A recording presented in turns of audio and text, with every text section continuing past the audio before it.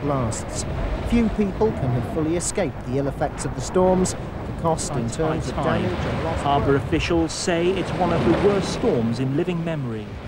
On Humberside, winds gusting at more than 90 miles an hour brought chaos to the east coast. Further evidence tonight of the severity of today's storms. More than 7,000 sheets of glass were shattered at Humber Growers. When we get disastrous weather, some people say it's all because of the greenhouse effect. What is the greenhouse effect? What happens inside greenhouses? Plants seem to grow very well. These scientists are trying to find out why. The air temperature outside is just under 16 Celsius. Inside the greenhouse, the soil temperature is over 16 Celsius.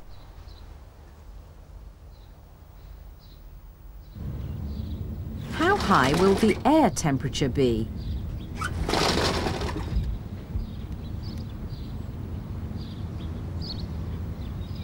It's much higher than it is outside.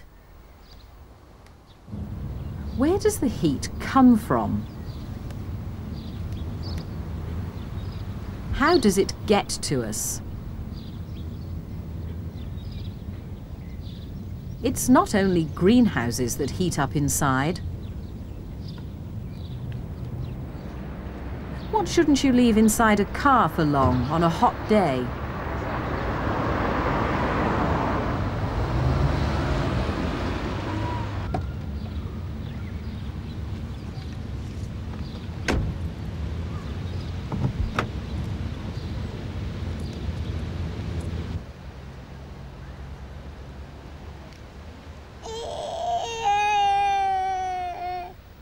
Why do cars and greenhouses heat up inside?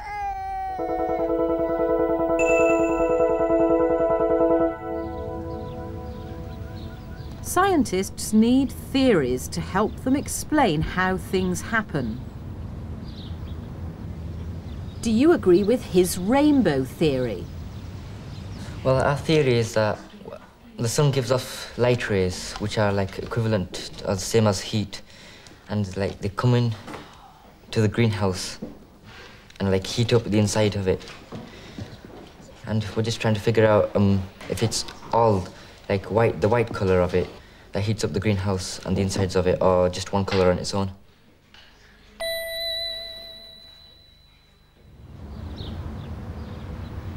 Different scientists often come up with different theories. Do you think her floor theory is better? Our theory is that if the floors are different colours, then the sun will like do whatever the colour the floors are. Because if the floor's black, then the sun's ray will be absorbed by the black, because the black absorbs the sun, and therefore give heat off into the greenhouse. But if the floor's white, the uh, sun will reflect will be reflected by the whiteness, and therefore the heat will go away. What do you think makes greenhouses heat up?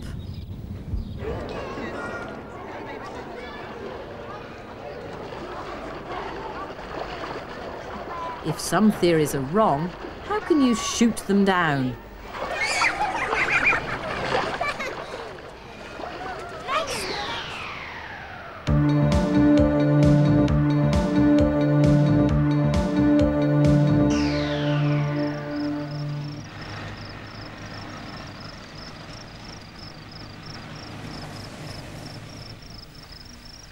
How good their theories are, scientists have to put them to the test.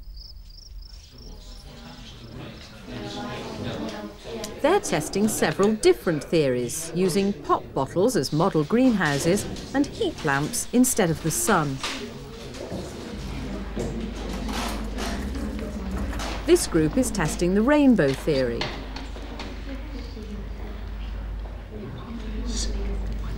they make fair tests between the different colours.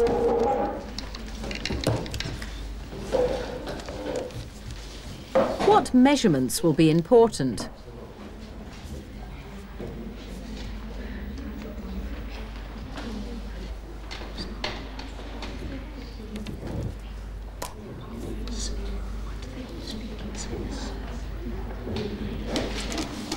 This group is testing the floor theory. They're using first a white floor, then a black floor.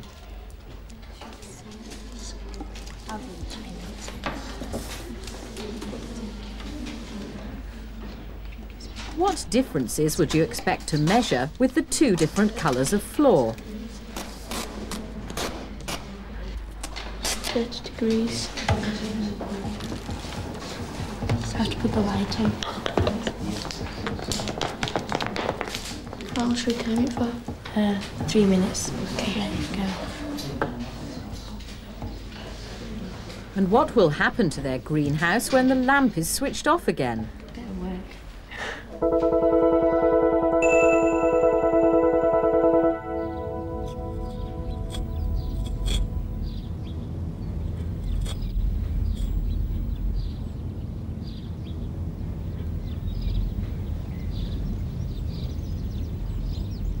Separate them from the source of heat and hot things cool down.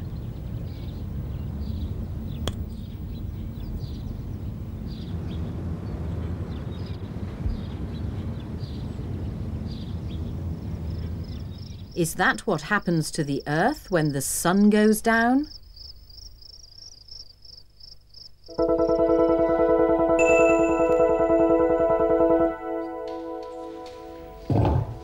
This is a model Earth. They're leaving it to heat up over lunch.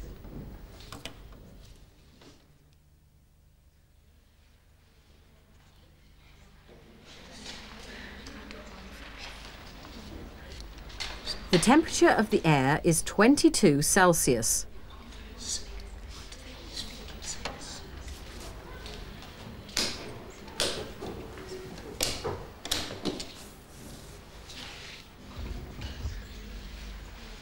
What happens now the lamps are turned off?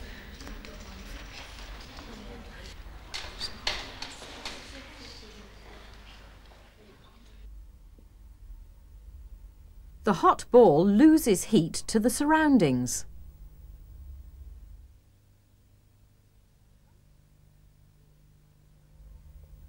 Some of the heat is absorbed by the black paper around the thermometer and the temperature reading goes up by 3 degrees.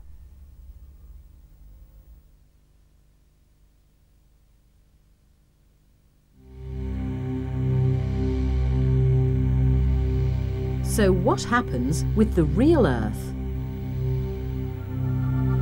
On the left side it's daytime so the Earth heats up. At night the temperature drops as the Earth loses heat again. The same thing happens on the moon. But every night on the moon is much colder than the coldest night ever recorded on Earth. What keeps our nights on Earth so much warmer than the dark side of the moon?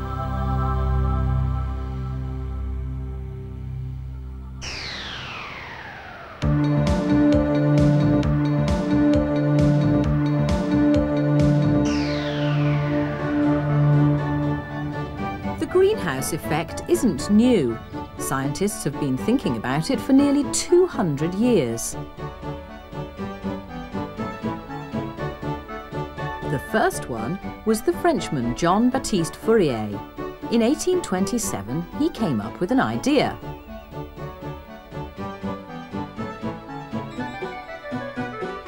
He thought that the Earth's atmosphere might trap heat. Just like a natural greenhouse, it keeps the Earth warm. Fifty years later, an Irishman, John Tyndall, thought a bit more about Fourier's idea of a natural greenhouse effect. He wondered if it was just some of the gases in the atmosphere that trapped the heat. He wanted to find out which of the gases in the atmosphere might be greenhouse gases. These scientists have come up with their own way of testing Tyndall's theory. They're using three pop bottles to hold different atmospheres. They're going to heat them using real sunshine.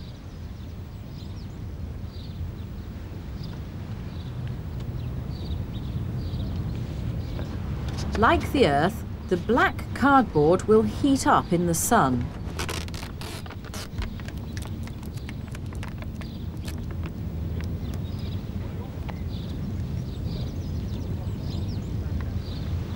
This bottle contains extra water vapour. One bottle contains ordinary air. The third bottle will contain carbon dioxide. This is dry ice, solid carbon dioxide.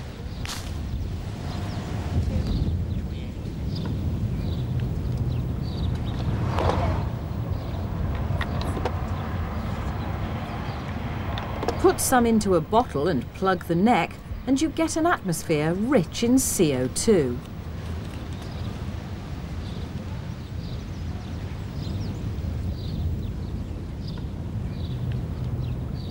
After five minutes in the sun, the temperature with ordinary air is 23.7 Celsius. In the bottle containing carbon dioxide, it's 25.4 Celsius. And in the bottle containing lots of water vapour, it's 27.4. So are carbon dioxide and water vapour both greenhouse gases?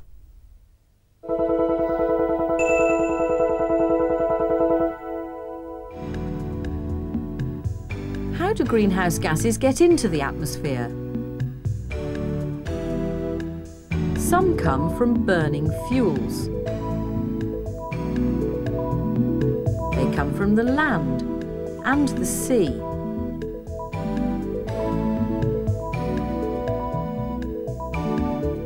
From all living things.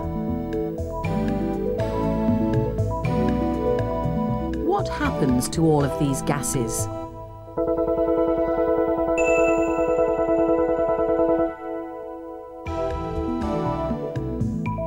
Most of them are taken in again by plants and by the sea, so there doesn't seem to be much change. But it's the gas that isn't reabsorbed that's worrying scientists.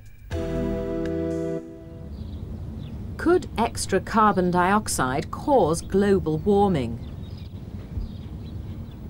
Do you think adding extra gases to the atmosphere is like fitting a greenhouse with double glazing?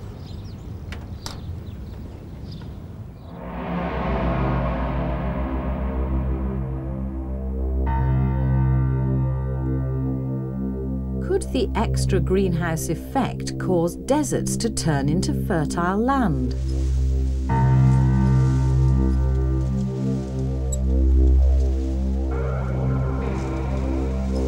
Or could it be the other way round?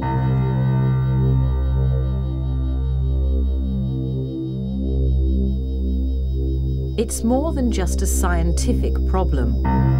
Why should politicians be worried about the greenhouse effect? What can they do about it? And what information might help them?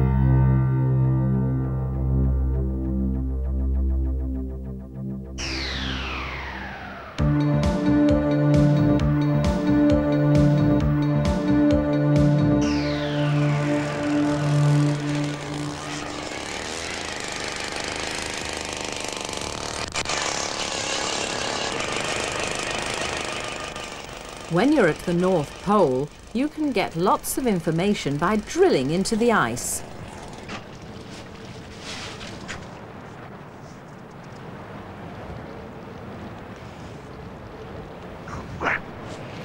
Neither. Hot work.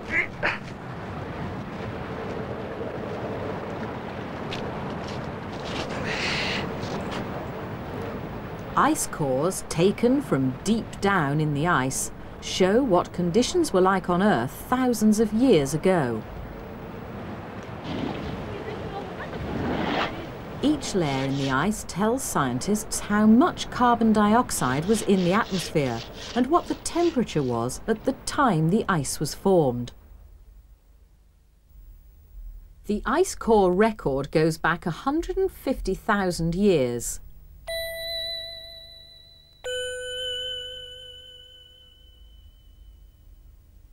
The amount of carbon dioxide in the Earth's atmosphere has gone up and down.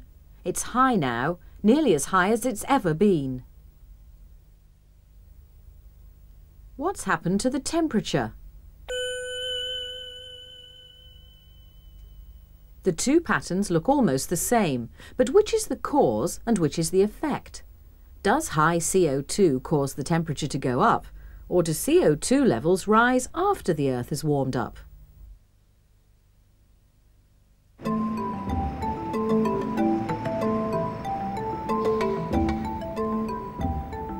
Happening to the weather now? And what will happen to it in the future?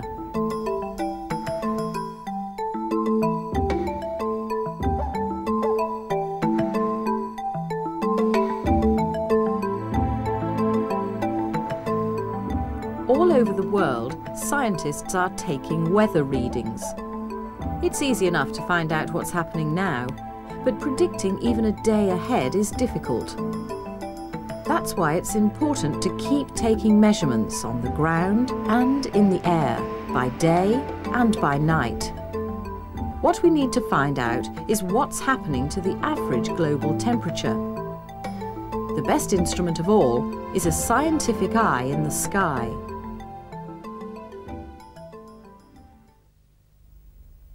This is how the temperature on Earth is now. The colours show that it's hot near the equator and cold at the top and the bottom near the poles. How might the temperature pattern change if we keep on adding to the greenhouse effect? What's happened to the average global temperature over the last hundred years?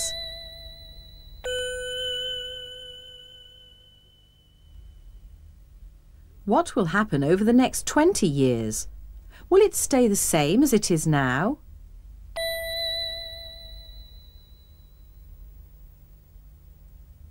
Then life will go on as it always has.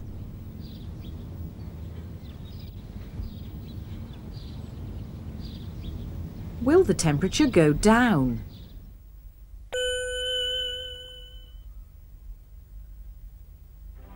If that happens, you could be sledging in your summer holidays.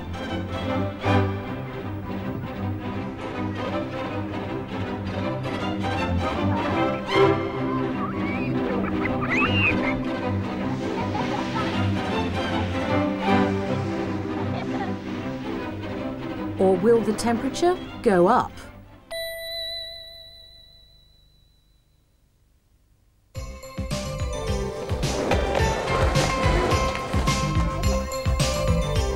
This could be the depths of winter.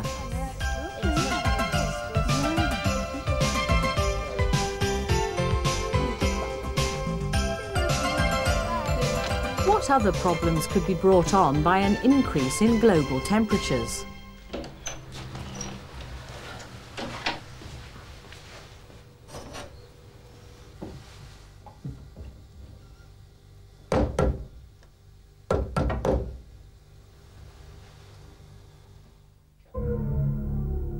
Are we really adding to the natural greenhouse effect? What evidence do we need to find out? How much evidence do we need before we take action? And what action should we take?